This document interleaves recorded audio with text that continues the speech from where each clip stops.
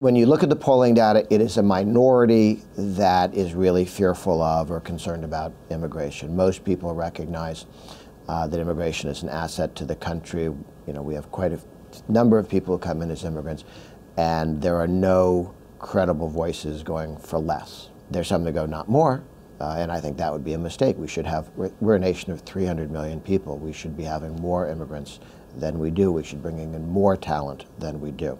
We need to grow faster, not slower.